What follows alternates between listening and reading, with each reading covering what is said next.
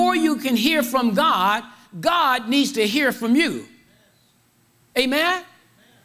We say, Well, God, I want to hear from you. God wants to see something from you.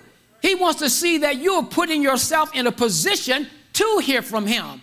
Amen. Lord, I want, to, I want you to talk to me and tell me everything, but I don't have time to go to church. I don't have time to read the word. I don't have time to hear gospel music, but I want to hear from God. God said, I want to hear from you. I want to see what you want me to say unto you. Are you in the right attitude, and the right position that you can hear from me?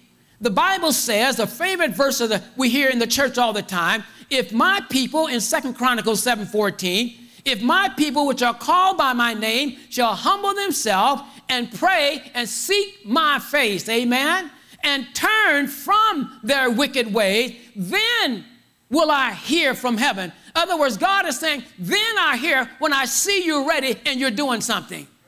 Amen. God is saying, I need to see something from you so I can speak to you. Amen. Our attitudes need to change. Our, our disposition, our, our thought pattern. Lord God, I'm seeking after you. He said, You need to seek, you need to turn and ask God, and He will be there.